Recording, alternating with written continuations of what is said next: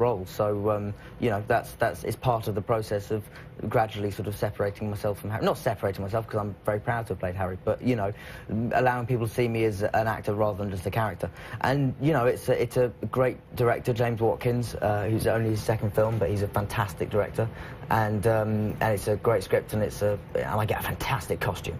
You do? As well, I got a great suit. My, it's fantastic. Yes. It's scary. It, it's going to be very scary, the film. Yeah, it's going to be terrifying. And you're going back to, to um, Broadway, uh, How to Succeed in Business Yeah. Without Really Trying, which Next is a, a song and dance, a musical. It's- I didn't know you did that stuff. Um, well, I don't think anyone did. Um, I didn't.